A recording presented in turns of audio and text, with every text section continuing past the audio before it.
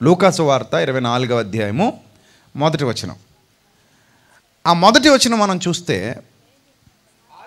ఆదివారమున తెల్లవారుచుండగా ఆ స్త్రీలు తాము సిద్ధపరిచిన సుగంధ ద్రవ్యములను తీసుకొని సమాధి వద్దకు వచ్చి సమాధి ముందర ఉండిన రాయి దొర్లింపబడి ఉండుట చూచి లోపలికి వెళ్ళిరి. కానీ ప్రభు అయిన యేసు దేహము వారికి కనబడలేదు. ఇప్పుడు మీ అందరికీ నా ప్రశ్న. చాలా రోజులుగా మీరు వాక్యం వింటున్నారు కాబట్టి మీ మేధస్సుకు చిన్న ప్రశ్న. మీ మేధస్సుకి ఇక్కడ కూర్చున్న మీకు మీ మేధస్సుకి చిన్న ప్రశ్న. అదేంటంటే అసలు వాళ్ళు ఎందుకు వెళ్ళాలి? సుగంధ ద్రవ్యాలు పట్టుకుని వెళ్ళారట ఎందుకు వెళ్ళారు? అసలు వాళ్ళు ఆ సుగంధ ద్రవ్యాలు ఎప్పుడు కొన్నారు? ఇప్పుడు వీళ్ళు ఎప్పుడు కొన్నారు? సుగంధ ద్రవ్యాలు అంటే అసలు సుగంధ ద్రవ్యాలు ఎందుకు అన్న ప్రశ్న మనకు వస్తే ఎప్పుడు కొన్నారనేది ఈజీగా అర్థం అవుద్ది సుగంధ ద్రవ్యాలు ఎందుకు? ఈ సుగంధ ద్రవ్యాలు అనేవి ఎందుకు పోస్తారంటే యూదులు వాళ్ళ ఆచారం ప్రకారం శవానికి సుగంధ ద్రవ్యాలు పోయడం అనేది ఒక సంస్కారవంతమైన గౌరవప్రదమైన దాని దాన్ని ఏమంటారు? ఒక హానర్బుల్ కార్యక్రమం అనమాట ఒక గౌరవాన్ని ఇచ్చేటువంటి కార్యక్రమం. ఇప్పుడు ఎవరైనా చచ్చిపోయారు అనుకోండి శవం అక్కడ ఉండగా మనం ఏం తీసుకెళ్తాం? ఒకవేళ పెద్ద ఆయన అయితే దండ కొనుక్కుని వెళ్తాం. లేకపోతే పూల గుచ్చుని తీసుకెళ్ళి ఆయన పాదాల దగ్గర పెట్టడం దండ వారి మెడలో వేసి నమస్కారం పెట్టి వచ్చేయడం చేస్తుంటారు కదా. సినిమా వాళ్ళు సెలబ్రిటీలు చచ్చిపోయిన వాడు అందరూ చేసేది అదే. ఎందుకు దండ కొనుక్కుని వెళ్ళి ఎందుకు వేస్తున్నారంటే గౌరవప్రదంగా చూస్తున్నారు అక్కడ. ఒక గౌరవప్రదమైన సూచనగా చెప్పొచ్చు. ఇక్కడ యేసుక్రీస్తు ప్రభు వారికి సుగంధ ద్రవ్యాలు పుయ్యాలన్న ఆలోచన శిష్యులకి ఎందుకు స్త్రీలకి ఎందుకు వచ్చింది అంటే యేసుక్రీస్తు ప్రభు వారు సిలువ వేయబడింది. శుక్రవారం సాయంత్రం చనిపోయింది సిలువ మీద చనిపోయింది. శుక్రవారం సాయంత్రం మూడు గంటలకి. విశ్రాంతి దినం దాదాపు ఐదు గంటల సమయానికి లేదా ఆరు గంటల సమయానికి ప్రారంభమవుతుంది. ఆయన చనిపోయిన తర్వాత చనిపోయాడో లేదో నిర్ధారించుకోవడానికి ఎముకలు విరగొడతారు ఆ పక్కన ఈ పక్కన సిలువేయబడిన ఇద్దరు దొంగలకి ఎముకలు విరగ్గొట్టారు. చనిపోయాడో లేదో అంటే కాన్షియస్ స్టేజ్లో లేకపోయినా ఎముక విరిగేసరికి కాన్షియస్లోకి వస్తారు అరుస్తారు. వీళ్ళు చనిపోయారా లేదా అన్నది నిర్ధారించుకోవడానికి అటుపక్క ఇటుపక్క ఇద్దరు దొంగలు సీలువేయబడ్డారు కదా ఆ దొంగలు ఇద్దరు ఎముకలు విరగ్గొట్టేశారు. కానీ యేసుక్రీస్తు ప్రభు వారి ఈ కాళ్ళు కొన్న ఎముకలు విరగొట్టలేదు ఎందుకు విరగొట్టలేదు అంటే ఆయన ఎముకలలో ఒకటైనను విరువబడకూడదు అనే ప్రవచన నెరవేర్పుగా ఆయన ఎముకలు విరుగొట్టబడలేదు ఎందుకంటే అప్పటికే ఆయన చనిపోయారు. ఈ ప్రాసెస్ అంతా జరిగిన తర్వాత సిలువు మీద నుంచి దింపుతారు. సిలువు మీద నుంచి దింపడం కూడా అంత ఈజీ కాదు టైం పడుతుంది. చేతులకి ఇంతంత లోతు భారమైన బలమైన మేకులు దింపుతారు. మనం అనుకున్నట్టు ఏదో ఈ మేకులు కాదు చాలా పెద్ద మేకులు. ఆ పెద్ద మేకులు దింపిన మేకులు తీసి సిలువను తీసి సిలువ మీద నుండి శవాన్ని వేరు చేసి ఆ శవాన్ని అప్పుడు గుడ్డలతో చుట్టి సమాధిలో పెట్టాలి. ఈ సిలువ వేయబడిన వారికి సమాధి కార్యక్రమాలు బాగా జరిపించరు. ఎందుకు జరిపించరో చెప్తున్నాను జాగ్రత్తగా వినండి. రోమా ప్రభుత్వం ఒక వ్యక్తిని సిలువ వేస్తుంది అంటే అతడు అగౌరవమైన వ్యక్తి అని అర్థం. అతడు గౌరవమైన వ్యక్తి కాదు. సో గౌరవమైన వ్యక్తి కాదు కాబట్టి అతనికి గౌరవప్రదంగా సంస్కార క్రియలు జరగవు. అర్థమైందా? దహన సంస్కారాలు అంతిమ సంస్కారాలు సిలువ మీద చచ్చిపోయిన వ్యక్తులు ఘనంగా చేయరు. వాళ్ళని తుచ్చమైన వారిగా నీచమైన వారిగా ఎంచుతారు రోమీలు. అంతెందుకు? యేసుక్రీస్తు ప్రభు వారిని ఎలా డీల్ చేశారో ఒకసారి చూడండి మీరు ఆశ్చర్యపోతారు. లోకాసు వార్త ఇరవై రెండో అధ్యాయం యాభై నాలుగు వచ్చిన యాభై నాలుగు ఇరవై రెండు. వారు ఆయనను పట్టి. ఏం చేసి? ఎందుకు ఈడ్చుకుపోయి? ఏడవడం అంటే అర్థం ఏంటి? లాక్కెళ్ళడం ఏడవడం అంటే. ఏడవడం వేరు లాక్కెళ్ళడం వేరు. లాక్కెళ్ళడం అంటే జస్ట్ కాలర్ పట్టుకుని నడిపించుకుంటూ తీసుకెళ్తారు. మరి ఈడ్చుకెళ్ళడం అంటే ఏంటి? నేల మీద ఈడ్చుకుపోవడం. యేసు ప్రభు వారిని అలాగే తీసుకెళ్ళారు. నిజానికి ఎంత బాధగా ఉంటుందో తెలుసా అండి? అది కళ్ళతో మనం చూడలేమండి. చదువుతున్నాం కాబట్టి చదివేస్తున్నాం కానీ కళ్ళతో మనం నిజానికి చూడలేం. మన వల్ల కాదు. మనం ఇష్టపడే ఏ వ్యక్తినైనా ఈడ్చుకుంటూ తీసుకెళ్ళిపోతున్నారు అనుకోండి. మనం చూడగలవా అస్సలు తట్టుకోలేము విపరీతమైన కోపం వచ్చేది అవసరమైతే మన ప్రాణం పోయినా పర్లేదు అక్కడ. అతను మాత్రం అలా చెయ్యొద్దని అడ్డుపడిపోతాం వెళ్ళి. కానీ శిష్యులు పారిపోయారు. ఎందుకంటే అక్కడ తీసుకెళ్తుంది నామ నామకార్థపు మామూలు వ్యక్తులు కాదు. ఎవరు మరి తీసుకెళ్ళేది? గవర్నమెంట్ ఇన్వాల్వ్ అయింది. గవర్నమెంట్ అంటే రోమ ప్రభుత్వం. ప్రపంచాన్ని పరిపాలిస్తుంది అప్పటికి.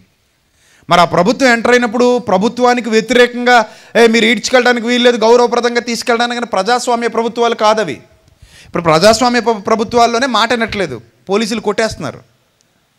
చట్టాన్ని చేతిలోకి తీసుకునే వాళ్ళు కూడా ఉన్నారు. అవినీతి పరులైన అధికారులు నాయకులు కూడా ఉన్నారు.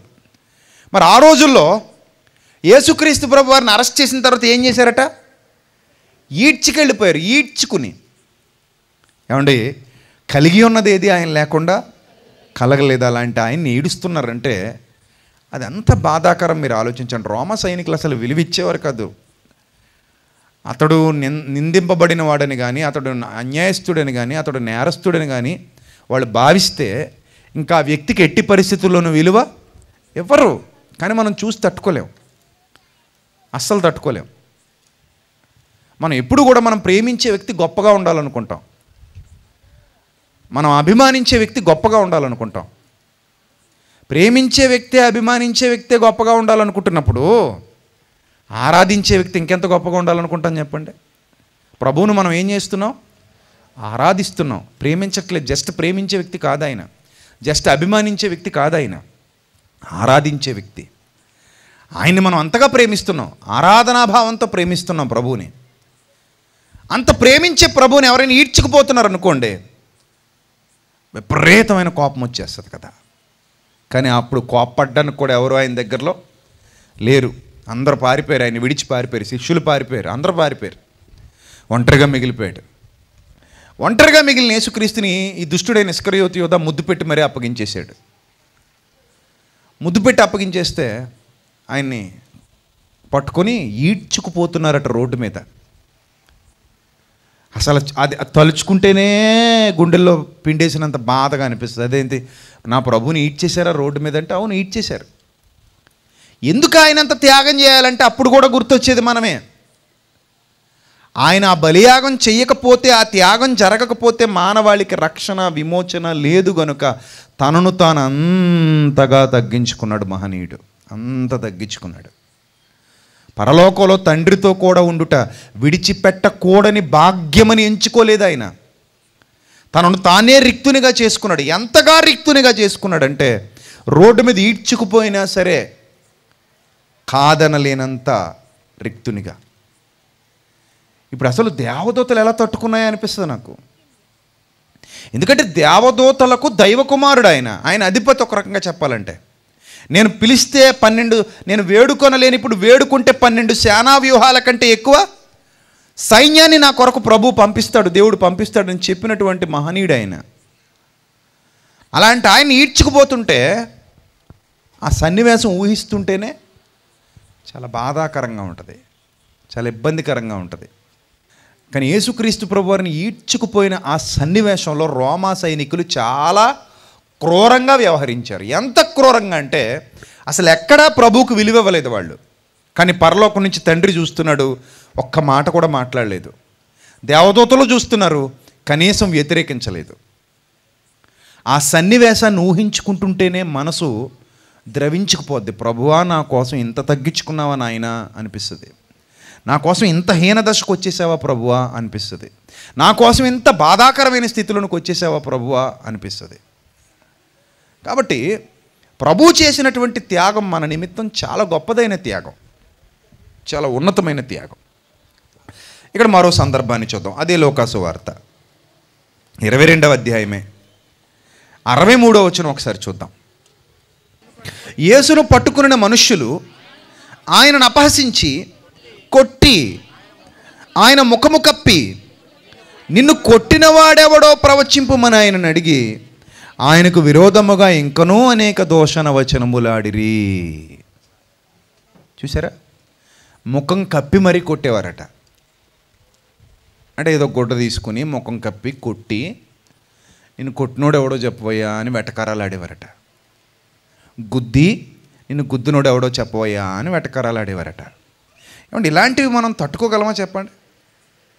ఒకవేళ ఆ సన్నివేశంలో మనం చూస్తూ ఉన్నాం అనుకోండి అక్కడ ఉండి ఆ సన్నివేశం మన కళ్ళతో మనం చూసామనుకోండి అది ఎంత బాధాకరమైన సన్నివేశం మీరు ఆలోచించండి? బాధాకరమైన సన్నివేశమా కాదా? చాలా బాధాకరమైనటువంటి సన్నివేశం. చాలా ఇబ్బందికరమైనటువంటి సన్నివేశం. అలాంటి బాధలు అనుభవించాడు ఆయన. అలాంటి ఇబ్బందులు అనుభవించాడు. అలాంటి కష్టాలు కన్నీళ్ళు అనుభవించాడు ఆయన. మామూలు కష్టాలు కాదు యేసుక్రీస్తు ప్రభువారిని పెట్టినవి. ఒకసారి యోహాను సువార్త చూద్దాం ప్రియులరా. యోహాను సువార్త పంతొమ్మిదవ అధ్యాయము మొదటి వచనం. అప్పుడు పిలాతి యేసును పట్టుకుని ఆయనను కొరడాలతో కొట్టించెను. సైనికులు ముండ్లతో కిరీటమును అల్లి ఆయన తల మీద పెట్టి ఓదారంగు వస్త్రం ఆయనకు తొడిగించి ఆయన యొద్దకు వచ్చి యూదుల రాజా శుభమని చెప్పి ఆయనను అరచేతులతో కొట్టిరి. చాలా హింసించారు. మీకు తెలుసు కదా ముళ్ళు ఎలా ఉంటాయో తెలుసా మీకు ఇప్పటికీ ఇజ్రాయెల్ వెళ్ళారు అనుకోండి ఇజ్రాయెల్లో ఆ, ఒలివల కొండ దగ్గర ఆ ముళ్ళ మొక్కలు మనకు స్పష్టంగా కనబడతాయి. ఆ రోజు యేసుక్రీస్తు ప్రభు వారికి ఏ ముళ్ళతో అయితే కిరీటం వెళ్ళారో ఆ ముళ్ళ మొక్కలు ఇప్పటికీ ఉన్నాయి ఆ జాతి అక్కడ పెరుగుతున్నాయి. ఎంత ఉంటుందంటే ఒక్కో ముళ్ళు మన వేలు కంటే ఇంకా పెద్దది ఉంటుంది. ఇంతంత ముళ్ళు ఉంటాయి. చాలా పెద్ద ముళ్ళు ఉంటాయి. వాటితో ఆ రోమా సైనికులు కిరీటం వెళ్ళి గుచ్చేస్తే దాదాపు ఒక రెండు అంగుళాల లోపలికి దిగిపోయి ఉండాలి అది. ఎంత బాధాకరమైన పరిస్థితితో చూడండి. అసలు ఇంత భరిస్తుంటే పరలోకపు తండ్రి చూస్తున్నాడు దేవదూతలన్నీ చూస్తున్నాయి వేడుక చూస్తున్నట్టు. వాస్తవానికి తట్టుకోవడం చాలా కష్టం అది. చాలా అంటే చాలా కష్టం. కానీ ఆయన వచ్చిందే అది భరించడానికి నీకోసం నా కోసం ఆ శ్రమను భరించడానికి ఆయన వచ్చాడు. మార్క్స్ వార్త పదిహేనవ అధ్యాయము. పదహారవ వచనం చూడండి. అంతటి సైనికులు సైనికులందరినీ సమకూర్చిన తర్వాత ఆయనకు ఓదారంగు వస్త్రము తొడిగించి మొండ్ల కిరీటమైన తల మీద పెట్టి యూదుల రాజా నీకు శుభమని చెప్పి ఆయనకు వందన వచనము వందనము చేసాగిరి మరియు రెల్లుతో ఆయన తల మీద కొట్టి ఆయన మీద ఉమ్మివేసి మీకు ప్యాషన్ ఆఫ్ క్రైస్ట్ సినిమాలో ఒక్కరే యేసుక్రీస్తు ప్రభు మీద ఉమ్మేసినట్టు ఆయన తుడుచుకున్నట్టు చూపిస్తారు. కానీ మీరు గమనించారు లేదో ఇక్కడ ఈ సన్నివేశం మీరు జాగ్రత్తగా అబ్జర్వ్ చేస్తే రోమా సైనికులు అందరూ ఆయన మీద ఉమ్మేశారు. అండ్ ఒక్కడు ఉమ్మి వేస్తేనే తట్టుకోవడం అంత కష్టమైతే అంతమంది ఒకరి తర్వాత ఒకరు ఒకరి తర్వాత ఒకరు ఉమ్మి వేస్తుంటే మీద అది ఎంత దారుణాతి దారుణమైన సన్నివేశం. వ్యక్తి అలాంటి వాడు ఆయన. గాలిని గద్దించగలిగే క్యాపబిలిటీ ఉన్నవాడు ఆయన. సముద్రాన్ని గద్దించగలిగే సమర్థత ఉన్నవాడు ఆయన. అంటే ప్రకృతి కూడా ఎంత బిగబట్టుకుని ఉంటుందో చూడండి ఆ సన్నివేశాల్లో. ఆకాశమా ఆలకించు భూమి చెవియొగ్గు అన్నటువంటి దైవ శక్తికి ప్రకృతి మొత్తం లోబడుతోంది. ఇప్పుడు యేసుక్రీస్తు ప్రభు వారి గాలిని గద్దించగానే నిమ్మళమైంది సముద్రాన్ని గద్దించగానే నిమ్మళమైంది ఇప్పుడు ఆ గాలి సముద్రం ఎంత అణుచుకొని ఉండి ఉండాలి ఆ సన్నివేశానికి. రోమ సైనికులు అందరూ ఆయన మీద ఉమ్మి వేశారు. ఇది సత్యం అంతే. రోమా సైనికులకు ముందు యూదులు కూడా ఆయన మీద ఉమ్మి వేశారు. దాదాపు చరిత్రకారుల లెక్కల ప్రకారం ఆయన మీద ఆ రోజు ఉమ్మివేతలు ఒక వెయ్యి పైనే పడుంటాయట. ఒక వెయ్యి పైన ఉమ్మివేతలు ఆయన మీద పడుంటాయని చరిత్రకారుల అభిప్రాయం బైబిల్ పండితుల అభిప్రాయం. వెయ్యి మంది ఉమ్మి వేస్తే ఎంత నీసు వాసన ఎంత హీన స్థితి అది ఎంత బాధాకరమైన స్థితి ఎంత ఇబ్బందికరమైన పరిస్థితి. చూడండి ఇదే మార్క్స్ వార్త పద్నాలుగవ అధ్యాయంలో అరవై ఐదో వచనం. కొందరు ఆయన మీద ఉమ్మి వేసి ఆయన ముఖమునకు ముసుగు వేసి ఆయన గుద్దుచు ప్రవచింపమని ఆయనతో చెప్పసాగిరి. బంట్రోతులను ఆయనను అరచేతులతో కొట్టి పట్టుకొనిరి. చూసారా యూదులందరూ ముందు ఉమ్ము వేసేశారు. ఇష్టం వచ్చినట్టుగా ఆయన మీద ఉమ్మేసేశారు ఉమ్మ ఎవరి మీద వేస్తారంటే ఈ యూదులకున్న దౌర్భాగ్యపు సంప్రదాయం రోమకాలంలో ఉమ్మ ఎవరి మీద వేస్తారంటే అతడికి పరమ నీచుడు పరమ భ్రష్టుడు. ఇతను సమాజంలో ఉండటానికి బతకటానికి వీలు అర్హత లేని ఒక దుర్మార్గుడు. అలా ట్రీట్ చేసే వ్యక్తుల మీద ఉమ్ములేస్తారు ఈయన ఏ పాపం చేయలే? ఏ అపవిత్ర కార్యం చేయలేదు? వాళ్ళకే తెలుసు. అసూయతో అప్పగించారు అక్కస్తో అప్పగించారు కుళ్ళుతో అప్పగించారు సాతాను ప్రేరణతో అప్పగించారు తప్ప ఆయనలో ఎక్కడా నీతిమాలిన కార్యాలు అనేవి లేవు. ఆయన మీద యూదులు అందరూ ఉమ్ము వేశారు. శాస్త్రులు ఉమ్మారు ప్రధాన యాజకులు ఉమ్మారు. అన్ని ఉమ్ములు తుడుచుకున్నాడంటే ఆయన దేహమే ఆ ఉమ్ములతో తడిచిపోయి ఉండాలి. అసలు ఎందుకు ప్రవ్వా ఇంత భరించాలి నువ్వు? అసలు ఎందుకు ప్రభా ఈ త్యాగం నీకు? ఎందుకు ప్రభా ఇంతగా మా కోసం తపన పడ్డావు? ఎందుకు ప్రభా ఇంతగా మా కోసం శ్రమ పడ్డావు అంటే ఒక మనిషి పాపశిక్ష ఎంత భయంకరమైనదో కొన్ని కోట్ల మంది పాపశిక్ష అంతకంటే భయంకరమైనది. అలాంటి పాపశిక్షలన్నీ తన మీద వేసుకుని మరణిస్తున్న బలి పశువు గనుక లోక పాపమును మోసుకొని పోయే దేవుని గొర్రెపిల్ల గనుక అంత హీనాతి హీనమైన స్థితిలో ఆ పరిశుద్ధుడైన ప్రభువు మరణించాల్సి వచ్చింది. ఇక్కడ యూదుల ఉమ్మివేతలు ఆయన భరించాడు. రోమా సైనికుల ఉమ్మివేతలు ఆయన భరించాడు. ఆయన ముసుగు వేసి మరి గుద్దారు. అరచేతులతో కొట్టారు. హేళన చేశారు. గేలి చేశారు. నేను కొట్టిన వాడెవడో చెప్పు నీకేమైనా చేతనైతే ప్రవచించు అన్నారు. ఇంత హీనమైన స్థితి తలుచుకుంటేనే గుండె పగిలిపోద్ది ఏడుపు వస్తుంది అయ్యో ప్రభువా ఇంత త్యాగం ఎందుకయ్యా నా కోసం? ఇంత త్యాగం ఎందుకయ్యా? అంటే నా కోసమేనా ప్రభు అంటే అవును నీ కోసమే. ఇప్పుడు చదువుకుంటున్న మనకే ఏడుపు వస్తుంది కదా? మీరు ఆలోచించండి. అప్పుడప్పుడు నేను ఒంటరిగా ఉన్నప్పుడు ఇలాంటి విషయాలు ఈ సన్నివేశాలు చదువుకుంటున్నప్పుడు నాకు తెలియకుండా నా కళ్ళలోంచి కన్నీళ్ళు వస్తాయి. బాధ అనిపిస్తుంది. అయ్యో నేను దేవుని కోసం చాలా గొప్పగా బతకాలి నా ప్రభు కోసం చాలా గొప్పగా బతకాలి. ఎందుకంటే ఆయన త్యాగం చాలా ఉన్నతమైనది ఆయన త్యాగం చాలా శ్రేష్టమైనది. నా కోసమే నా ప్రభు ఇన్ని బాధలు భరించాడు నా కోసమే నా ప్రభు ఇన్ని కష్టాలు భరించాడు. నేను ఏమాత్రం ఆయన గాయాలు రేపినా నేను అసలు మనిషినే కాదు. నేను ఏమాత్రం ఆయనకు అనుకూలంగా బతకపోయినా నేను అసలు మనిషినే కాదు నా విశ్వాసం విశ్వాసం కాదు. నేను ఆయన కోసం ఉన్నతంగానే బ్రతకాలి చావైన బతుకైన ఆయన కోసమే అనే భావజాలం కలుగుతుంది. ప్రియులరా ఆయనను ప్రేమిస్తున్న మనకి ప్రత్యక్షంగా చూడకపోయిన వాక్యం చదువుతుంటేనే గుండెలు నీరైపోతున్నాయే. ఎంత శ్రమ అనుభవించాడా నా ప్రభు నా కోసం అని కళ్ళతో ఆయన చూస్తూ ఆయన ప్రేమించిన శిష్యులు ఆయన శిష్యురాళ్ళు ఆయన వారికి ఎంత బాధ కలిగి ఉంటుంది మీరు చెప్పండి. అందుకే రొమ్ము కొట్టుకుని ఏడ్చారట. ఆయనను వెంబడించుచున్న చాలామంది స్త్రీలు ఏం చేశారట? రొమ్ము కొట్టుకుని ఏడుస్తుంటే వాళ్ళని ఉద్దేశించి కూడా అన్నాడట అమ్మ నా కోసం ఏడవకండి. మీకోసం మీ పిల్లల కోసం ఏడవండి అన్నాడట. అంత ప్రేమమేడు ఆయన. అసలు ఆ ఏడుపు కూడా నా కోసం వద్దన్నాడు. వాళ్ళు ఏడ్చారు. అంత ఏడ్చారు అంత అభిమానం ఆయనంటే అంత ప్రేమ ఆయనంటే. ఆ ప్రేమ కొద్దీ ఇప్పుడు ఏం జరిగిందంటే అంత ప్రేమించినటువంటి వాళ్ళు ఆయన చనిపోయాడని తెలిసినప్పుడు కనీసం అంతిమ సంస్కారాలైనా ఘనంగా చేయాలని భావించారు. అలా ఘనంగా చేయాలని భావిస్తే సరిగ్గా యేసుక్రీస్తు ప్రభువారు మూడు గంటలకు చనిపోతే కార్యక్రమాలన్నీ పూర్తయ్యేసరికి అరిమత యోసేపు అనే ఆయన పిలాతు దగ్గరికి వెళ్ళి పర్మిషన్ తెచ్చుకున్నాడు. పిలాతు మంది అధికార మందిరానికి వెళ్ళి పిలాతును కలిసి పర్సనల్గా అయ్యా మా ప్రభువును మీరు అన్నట్టుగానే సిలువేసి చంపేశారు. మీరు మీకు తెలుసు ఆయన ఏ నేరం చేయలేదని. ఆయన ఏ నేరం చేయలేదని మీరు కూడా ఒప్పుకున్నారు. ఆయన తప్పు చేయలేదని దానికి సాక్ష్యంగా మీరు మీ చేతులు కూడా కడుక్కున్నారు. మీ భార్య గారు కూడా కబురు పెట్టారు రాత్రి కలలో నేను మిక్కిలి బాధపడ్డా నా నీతిమంతుడి జోలికి నువ్వు పోవద్దని మీకు చెప్పారు. ఆయన నీతిమంతుడు ఆయన యథార్థవంతుడు ఆయన పరిశుద్ధుడు. ఆయన చంపేశారు అన్యాయంగా. అందుకే చూడండి సూర్యుడు నలుపు అయిపోయాడు. ఈ ఈ మధ్యాహ్న వేళలో ఆయన చనిపోగానే చీకటి కమ్మేసింది. భూకంపం కలిగింది. దేవాలయపు తెర నడిమికి చిరిగిపోయింది. ఇన్ని కార్యాలు ఎరుషులేములో జరిగాయి. ఒక పరిశుద్ధుడు కాబట్టే ప్రకృతిలో ఇన్ని సంకేతాలు. నీతిమంతుడు కాబట్టే ప్రకృతిలో ఇన్ని సంకేతాలు. ఈ సంకేతాలన్నీ చూసిన తర్వాత అయినా మీకు అర్థం కావాలి పిలాతు గారు.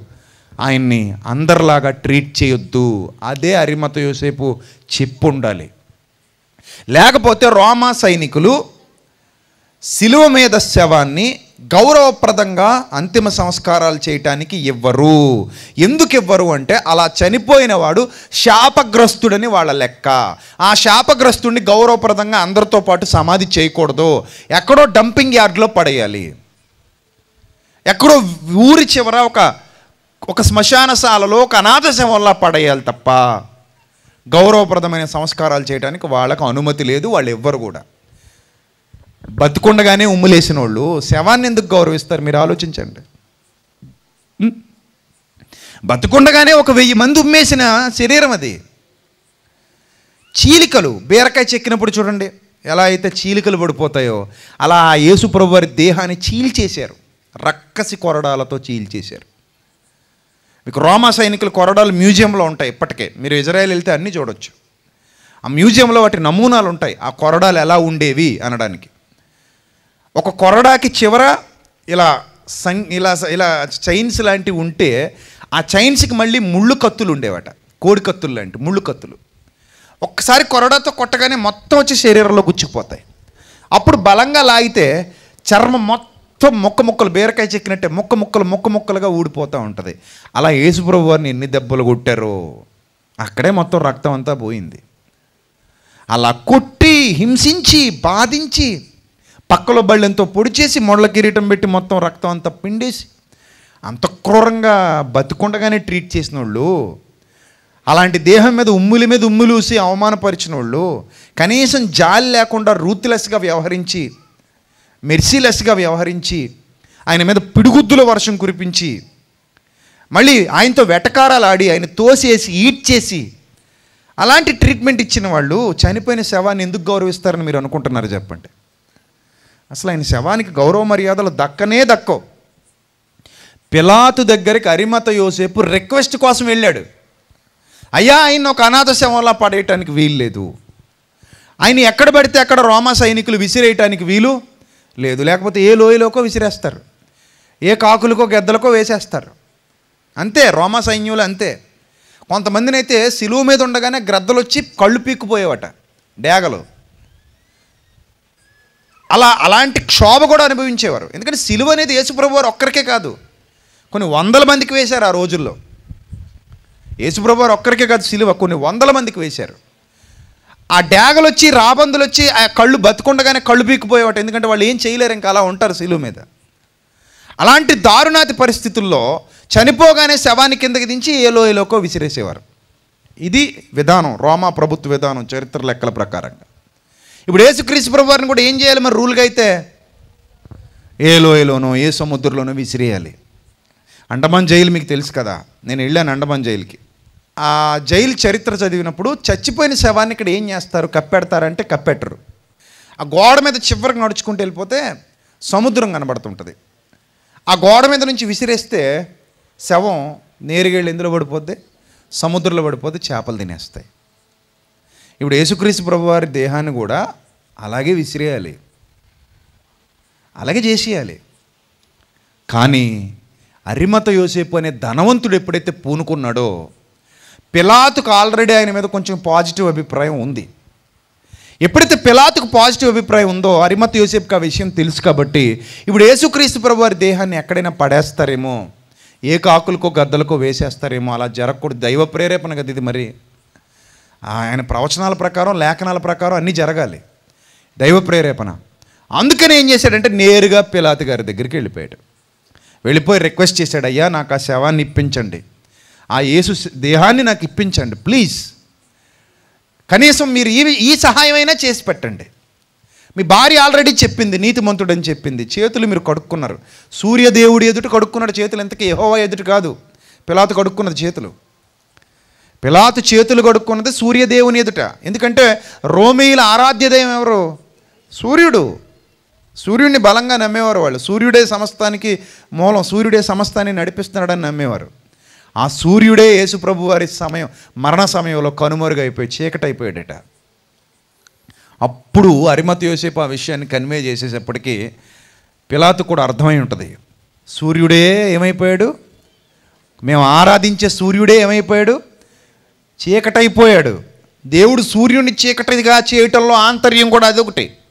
ఎందుకంటే రోమీలు సూర్యుడిని తప్ప ఇంకెవరిని నమ్మరు యహోవాని నమ్మరు. యహోవాయే దేవుడని రోమిలు రోమీలు నమ్మరు సూర్యుడే దేవుడని నమ్ముతారు వాళ్ళు.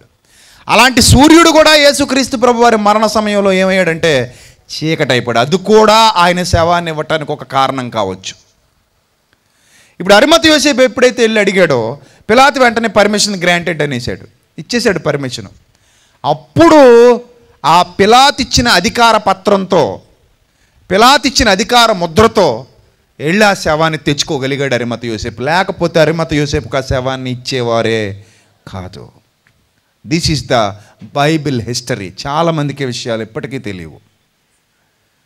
అంత గొప్ప హిస్టరీ బైబిల్ హిస్టరీ రైట్ ఎప్పుడైతే ఈ శవాన్ని తెచ్చుకున్నాడో ఎక్కడ పెట్టాలి ఇప్పుడు ఈ శవాన్ని అంటే నా కోసం తొలిపించుకున్న నా సమాధిలో పెడతాను అనుకున్నాడు. ఆ రోజుల్లో ధనవంతులు గౌరవప్రదంగా ఉండడానికి సమాధులు తొలిపించుకునేవారు. గౌరవప్రదమైంది. ఇంకా సమాధి సొంతంగా తొలిపించుకున్నాడంటే he was a greatest person ఆ సొసైటీలో. అంత గ్రేటెస్ట్ గ్రేటెస్ట్ పర్సన్గా కనబడుతున్నటువంటి అరిమత యోసేపు యేసుక్రీస్తు ప్రభు వారి దేహాన్ని తీసుకెళ్ళి తన సొంత సమాధిలో తన తోటలో కలవరి కొండకు చాలా దగ్గరగా ఉంటుంది ఆ తోట. ఆ తోటలో ఆయన సొంత తోటలో ఆయన సొంత సమాధిలో ఆ దేహాన్ని పెట్టేశాడు. అప్పటికే విశ్రాంతి దినం ఎంటర్ అయిపోయింది. చూడండి ఒకదానికొకటి అలా లింక్ అయి ఉన్నాయో. ఆరైతే శుక్రవారం సాయంత్రం ఆరైతే విశ్రాంతి దినం ఎంటర్ అయిపోతాం.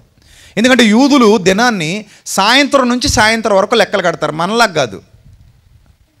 సాయంత్రం ఆరు టు మర్నాడు సాయంత్రం ఆరు వరకు యూదులకు ఒక దినం లెక్క. అంటే శుక్రవారం సాయంత్రం ఆరు గంటల నుంచి శనివారం సాయంత్రం ఆరు గంటల వరకు వాళ్ళకి విశ్రాంతి దినం. ఇప్పుడు విశ్రాంతి దినాన్ని ఏ పని చేయకూడదనే రూల్ ఉంది. సో కంగారు కంగారుగా వస్త్రాలతో చుట్టేసి మంచి వస్త్రాలతో.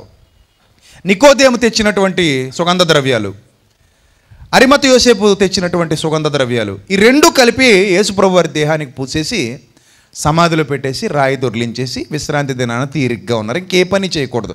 ఆరు అయ్యిందంటే ఇంక మళ్ళీ వాళ్ళు ఏ పని చేయకూడదు. ఆ పని పూర్తి చేశారు అప్పటికే. ఇది హిస్టరీ. ఇప్పుడు ఆ మూడు గంటల సమయంలో పర్మిషన్ తెచ్చుకోవడానికి వీటికి వాటికి సమయం అయిపోయింది. గవర్నమెంట్ దగ్గర నుంచి పర్మిషన్ తెచ్చుకో లేకపోతే ఇవ్వరు అంత ఎందుకండి? కరోనా టైంలో శవాలను ఇచ్చారా? ఇవ్వాలంటే ఎంత పెద్ద పర్మిషన్స్ కావాలో? హయ్యర్ అఫీషియల్స్ ఇవ్వాలి పర్మిషన్స్ లేకపోతే ఇవ్వరు అలాగే రోమా ప్రభుత్వం కూడా సిలువ వేయబడిన వారి దేహాన్ని ఇవ్వాలంటే పిలాతు దగ్గర నుంచి పర్మిషన్ రావాలి లేకపోతే ఎవరు? ఇప్పుడు అరిమతి యోసేపు కదా ఊరికే ఇచ్చేలా ఆ సిలువు మీద ఉన్న దొంగలిద్దరిని సమాజ్ చేయలే ఎక్కడ ఉందట వాళ్ళిద్దరిని సమాజ్ చేసినట్టు. వాళ్ళ కాళ్ళు కూడా విరిచేశారు. వాళ్ళని ఎక్కడ పడేశారో పడేశారు డంపింగ్ యార్డ్లో. ఏ సముద్రంలోనో పడేసి ఉంటారు లేకపోతే ఏ కాకులకో గద్దలకో వేసేసి ఉంటారు. లేదా ముక్క ముక్కలుగా నరికి ఏ మొసళ్ళకో వేసేసి ఉంటారు.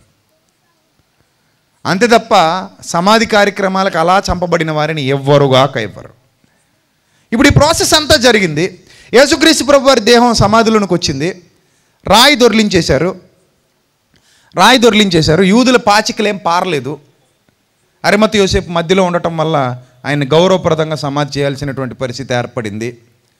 ఇప్పుడు నెక్స్ట్ ఏంటంటే ఆయన అంతగా ప్రేమించినటువంటి శిష్యురాళ్ళు ఆయన అంతగా ప్రేమించి ఆయన వెంబడించినటువంటి స్త్రీలు వాళ్ళ ప్రేమ గొప్పది యేసుప్రభు వారి మీద. అంత ప్రేమించిన వాళ్ళు ఏం చేశారంటే ఇప్పుడు యేసుప్రభు వారి కనీసం లాస్ట్లో ఆయన శవానికి కనీసం సుగంధ ద్రవ్యాలు కూడా మన ఆచారం ప్రకారం పుయ్యలేకపోయామని బాధపడ్డారు. వాళ్ళ ఆచారం ఏంటంటే శవానికి సుగంధ ద్రవ్యాలు పుయ్యటం ఈ మన మనకు కూడా కొన్ని ఆచారాలు ఉంటాయి. కొంతమంది ఏం చేస్తారంటే శవానికి స్నానం చేయిస్తారు. చేయిస్తారా చేయించరా? యేసుక్రీస్తు ప్రభు వారి దేహానికి కూడా సుగంధ ద్రవ్యాలు పుయ్యాలని వాళ్ళు అనుకుని మరి ఎప్పుడు కొన్నారు? అప్పటికప్పుడు కొనడానికి అవుతుందా? విశ్రాంతి దినంలో కొనొచ్చా? కొందామన్న షాపులు ఓపెన్గా ఉంటాయా? అందరూ విశ్రాంతి దినం ఆచరించే వాళ్ళు కాబట్టి షాపులు కూడా ఏం చేస్తారు అప్పుడు? కట్టేస్తారు. విశ్రాంతి దినాన యూదులకి మార్కెట్ మరి ఎప్పుడు కొన్నారు సుగంధ ద్రవ్యాలు చూద్దాం. మార్క్స్ వార్త. చాలా ఇంపార్టెంట్ సబ్జెక్ట్ ఇది జాగ్రత్తగానండి. మార్క్స్ వార్త. పదహారవ అధ్యాయం మొదటి వచనం. మార్క్స్ వార్త పదహారవ అధ్యాయం మొదటి వచనం. విశ్రాంతి దినము గడిచిపోగానే ఎప్పుడు? గడిచిపోగానే అంటే ఎప్పుడు? శనివారం సాయంత్రం ఆరు దాటాక. అంటే ఎప్పుడు కొన్నారు వీళ్ళు? ఈవినింగ్ టైంలో కొన్నారంటే ఆరు నుంచి తొమ్మిది లోపు. కొట్లు కట్టేసే లోపు. అప్పుడు తీస్తారు మళ్ళీ కొట్లు. ఆ కొట్లు కట్టేసే లోపు తొమ్మిది ఐదు దాకా తీస్తారు. లేదా పది ఐదు దాకా తీస్తారు. ఆ టైంలో కొనేశారు. చూడండి. విశ్రాంతి దినము గడిచిపోగానే అంటే శనివారం సాయంత్రం ఆరు దాటగానే మగ్ధులను మరియు యాకోబు తల్లి మరియు సలోమే వచ్చి ఆయన శవానికి పుయ్యాలని సుగంధ ద్రవ్యాలు కొనిరి. దేనికి పుయ్యాలని? ఆయన శవానికి పొయ్యాలని. అందుకే వారు ఆదివారమున పెందల కడలేచి బయలుదేరి సూర్యోదయమైనప్పుడు సమాధి యొద్దకు వచ్చి ఉండగా సమాధి ద్వారము నుండి మన కొరకు ఆ రాయి ఎవడు పొర్లించునని ఒకడితో ఒకడు చెప్పుకొనుచుండి. ఇంతకీ రాయి ఎందుకు పొర్లించాలి వాళ్ళకి? వీళ్ళు ఆడవాళ్ళు కాబట్టి రాయి పొర్లించుకోలేరు. శవాన్ని కప్పెట్టి ఎన్ని రోజులు అవుతుంది? లోపల పెట్టి ఎన్ని రోజులు అవుతుంది? మూడు రోజులు అవుతుంది దగ్గర దగ్గర. మూడు రోజులు అవుతుంది. అంటే ఇంకా పెద్దగా డీకంపోజ్ అవ్వదు. అయినా పర్లేదు మేము ఆయనకు పుయ్యాల్సిందే. ఎంత ప్రేమ లేకపోతే వెళ్తారు చెప్పండి. చాలా ప్రేమ ఉండాలండి. ఆ ప్రేమను బట్టే వెళ్ళారు వాళ్ళు అంతే. అంతకు మించి ఇదేం ఆచారం కాదు మనం చేయటానికి. అది ప్రేమ అది అది ప్రేమ. ఆయన శవానికి పుయ్యాలన్న కోరిక. ఎందుకంటే ఆయన అంతగా అభిమానించారు వాళ్ళు. అంతగా ప్రేమించారు వాళ్ళు. ఆ స్త్రీలు. మా ప్రభువు మా రబ్బీ మా బోధకుడు అని గర్వంగా చెప్పుకునేవారు. ఇక్కడ యేసుక్రీస్తు ప్రభు వారికి దేహానికి అంటే శవానికి పూయడానికి వెళ్తున్నారు వాళ్ళు. వాళ్ళకి తెలియదా ఏంటి? మూడు రోజులు అయిన తర్వాత ఏ శవం అయినా ఏమొస్తుంది? వాసన వస్తుంది. అందు అందుకే వెళ్ళారు వాళ్ళు. ప్రేమతో వెళ్ళారు తప్ప ఇంకా వేరే ఏ రీజను లేదు అక్కడ. అదేం ఆచారమో కాదు మనం వెళ్ళమని మనకు చూపిన మార్గదర్శకత్వం కూడా కాదు. ప్రేమతో వెళ్ళారు. అప్పుడు ఏం జరిగిందంటే వాళ్ళు వెళ్ళే సమయానికి లోకాసు వార్త లోకాసు వార్త ఇరవై నాలుగవ అధ్యాయము రెండవ వచ్చిన సమాధి ముందర ఉండిన రాయి దొరలింపబడినట్టు చూచి లోపలికి వెళ్ళిరు కానీ ప్రభు అయిన యేసు దేహం వారికి కనపడలేదు. ఇంతకు వాళ్ళు వెళ్ళింది ఎవరి కోసం? దేహం కోసం. ఇక్కడ మీకు సీక్రెట్ చెప్తాను. ప్రభు బ్రతుకున్నంత వరకు ఆయన బోధల్లో వాళ్ళకు ఒకటే చెప్పారు ఘంటాపదంగా. ఏమని చెప్పారు? పాపిష్టులైన మనుష్యుల చేతికి మనుష్య కుమారుడు అప్పగించబడబోతున్నాడు. వారు ఆయనను కొట్టి హింసించి సిలువ వేసి చంపుతారు. మూడవ దినమున మరలా నేను తిరిగి లేస్తాను. ఇవన్నీ బాగానే అన్నారు కానీ లాస్ట్ మాట నమ్మలేదు వాళ్ళు. ఏ మాట? మూడవ దినమున నేను తిరిగి లేస్తానన్న మాట వాళ్ళు నమ్మలేదు. నమ్మకపోగా ఆయన మీద ఏదో ప్రేమ పెంచుకొని అంత క్రూరంగా ఇంత దారుణాతి దారుణంగా ఈడ్చి కొట్టి ఇంతంత మేకులు దింపేసి శరీరం మొత్తం చీల్చేసి ఆయన ఒంట్లో ఉన్న ప్రతి రక్తపు బొట్టు ఒక ద్రాక్ష పండు పిండినట్టుగా పిండేసి చంపేశారే. ఇంకేం బతుకుతాడని శిష్యులు అనుకున్నారు. ఇంకేం బతుకుతాడని? ఆ స్త్రీలు అనుకున్నారు. కానీ వాళ్ళకు ఉండిపోయిన ప్రేమల్లో ఒకటే. చివరి సంస్కారాలైనా అంతిమ సంస్కారాలైనా ఘనంగా చేయాలి. మనకున్నంతలో మంచి సుగంధ ద్రవ్యాలు కొని ఆయనకు పూసేస్తే మన రుణం తీర్చుకున్నట్టు అవుతుంది. కనీసం అదైనా చేద్దాం అన్న ప్రేమతో వెళ్ళారు వాళ్ళు అంతే. అంతకు మించి ఏమీ లేదు. ఆ ప్రేమ తప్ప ఇంకోటి ఏమీ లేదు వాళ్ళ మనసుల్లో. దాన్ని ఇంకెవరు ఆపగలరు? వీళ్ళు వెళ్ళేసరికి షాకింగ్. ఆ రాయి తొరలించుంది. లోపలికి వెళ్ళి చూస్తేనేమో ఏమీ లేదు. యేసుప్రభు వారి శవం లేదు. షాక్ అయిపోయారు. షాక్ అయిపోయి ఏమీ తోచక ఉండగా చూడండి ఇందును గూర్చి వారికి ఏమీ తోచక ఉండగా ప్రకాశమానమైన వస్త్రములు ధరించిన ఇద్దరు మనుష్యులు వారి యొద్ద నిలువబడ్రి. వారు భయపడి ముఖములను నేలమోపి ఉండగా వీరు సజీవుడైన వారిని మీరెందుకు మృతుల్లో వెతుకుచున్నారు? ఆయన ఇక్కడ లేడు ఆయన లేచి ఉన్నాడు ఆయన ఇంకా గల్లేలో ఉండినప్పుడు మనుష్య కుమారుడు పాపిష్టులైన మనుషుల చేతికి అప్పగింపబడి సిలువ వేయబడి మూడవ దినమందు లేవవలసి ఉన్నదని మీతో చెప్పిన మాట జ్ఞాపకం చేసుకోండి. అని వాళ్ళతో చెప్పి అప్పుడు కానీ వీళ్ళకి బల్బు వెలగలే. అంటే అంతవరకు ఆయన తిరిగి లేస్తాడన్న నమ్మకం వాళ్ళలో లేదు. అర్థమవుతుందా? అంటే వీళ్ళు వెళ్ళింది కేవలం ఆయన దే శవానికి సుగంధ ద్రవ్యాలు పుయ్యాలని తప్పితే వేరే ఆలోచన వాళ్ళకి లేదు. ఆ తర్వాత వీళ్ళు వెళ్ళి శిష్యులకు చెప్తేనట పదకొండు వచ్చిన అయితే వారి మాటలు వీరి దృష్టికి శిష్యుల దృష్టికి ఎలా కనబడ్డాయట? వెర్రి మాటలుగా కనబడిన కనుక వారు వీరి మాటలు నమ్మలేదు. మహానుభావులు శిష్యులు కూడా నమ్మలేదు. చూడండి ఎంత ఘోరమో చూడండి. ఒక పక్క శిష్యులు నమ్మలేదు ఒక పక్క ఈ స్త్రీలు కూడా యేసుప్రభు వారు తిరిగి లేస్తారన్న వాస్తవాన్ని నమ్మలేదు. అందుకే యేసుప్రభు వారు మార్క్స్ వార్తలో వారు నమ్మలేనందుకు గద్దించారట వాళ్ళని. చూడండి మార్క్స్ వార్తలో వాళ్ళు నమ్మలేనందుకు గద్దించారని రాయబడిన తిరిగి లేచాక పదహారవ అధ్యాయం. మార్క్స్ వార్త పదహారవ అధ్యాయం పద్నాలుగో వచ్చిన పిమ్మట పద పదునొకండ మంది శిష్యులు భోజనమునకు కూర్చున్నప్పుడు ఆయన వారికి ప్రత్యక్షమై తాను లేచిన తరువాత తన్ను చూచిన వారి మాట నమ్మనందున వారి అపనమ్మిక నిమిత్తము హృదయ కాఠిన్యము నిమిత్తము వారిని గద్దించెను. అర్థమైందా? అంటే ఎవ్వరూ ఆయన తిరిగి లేస్తారన్న వాస్తవాన్ని నమ్మలేదు. తర్వాత లేచారు అందరికీ కనబడ్డారు. కనబడిన తర్వాత ఒక గొప్ప బాధ్యత అప్పగించారు. ఆ బాధ్యత ఏంటి? మీరు సర్వలోకానికి వెళ్ళండి. సర్వ సృష్టికి సువార్తను ప్రకటించండి. ఇప్పుడు మిమ్మల్ని అందరిని ఒక పాయింట్ అడుగుతున్నాను. వీళ్ళు మళ్ళీ ఎప్పుడైనా సమాధిలోకి వెళ్ళినట్టుగా సమాధుల్లోకి వెళ్ళినట్టుగా ఎక్కడైనా ఒక పాయింట్ రాయబడిందా? మీరే చెప్పండి. సువార్తలు మొదలుకొని ప్రకటన గ్రంథం వరకు మళ్ళెప్పుడైనా అపోస్తలు కానీ ఆ స్త్రీలు కానీ సమాధుల తోటలోకి వెళ్ళినట్టుగా ఎక్కడైనా మనకు ఒక ఒక వచనం కనబడుతుందా? కనబడదు. ఎందుకంటే అక్కడ పని లేదు. ఈయన పని అప్పగించాడు. వెళ్ళిపోతే వెళ్ళిపోతే ఏం అప్పగించి వెళ్ళిపోయాడు ప్రభు? ఏం పని అది సువార్త ప్రకటింపవలసిన భారము నా మీద మోపబడింది. ఎవరు మోపారు? ప్రభువే మోపారు. నా కాడి ఎత్తుకుని నా యొద్ద నేర్చుకునుడి. నా భారము తేలికగాను నా కాడి సులువుగాను ఉన్నది. ప్రయాసపడి భారం మోస్తున్న సమస్త జనులారా నా ఎద్దుకు రండి. మీ భారం నేను తీసేస్తాను. మీ భారం నేను తీసేస్తాను. మీ పాప భారం నేను తొలగిస్తాను. నా సువార్త భారం మాత్రం మీరు మొయ్యాలి. అది మీ బాధ్యత. ఇది నా బాధ్యత. నా బాధ్యత నేను సక్రమంగా నెరవేరుస్తున్నాను. మీ బాధ్యత మీరు సక్రమంగా నెరవేర్చండి. సో మీరు సర్వలోకానికి వెళ్ళి సర్వ సృష్టికి సువార్త ప్రకటించమన్నాడు తప్ప మీరు సమాధుల్లోకి వెళ్ళండి అని ఎక్కడ చెప్పలేదు. ఏమండి? క్రైస్తవుడు బాధ్యతాయుతమైన వాడికి మనకు సమాధిలో ఏ పని లేదు. ఎందుకు మనకు సమాధిలో పని లేదు అని చెప్తున్నానంటే మన పితరులు ఎవరు సమాధుల్లోకి వెళ్ళలేదండి సమాజంలోనికే వెళ్ళారు. భక్తులు ఎవరు సమాధుల్లోనికి వెళ్ళలేదండి.